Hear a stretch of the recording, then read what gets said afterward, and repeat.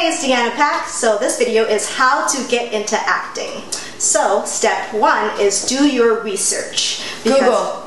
Yes, Google will teach you everything. But get involved in student films, plays in your local community, whatever you can to get better at acting. Take classes, build your credits in your area. Step two. Google. Yes, Google again. Step two is move to a bigger market like LA, Atlanta, New York, Chicago.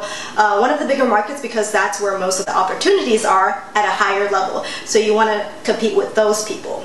Step three is Fucking Google, bitch. yes, Google, and get your team together, which means agent slash manager or both. Your team is everything. Make sure you get someone who really believes in you as much as you believe in yourself, and from there you will soar. Thanks, guys. Like, comment, subscribe, and do whatever the hell you want. Eh,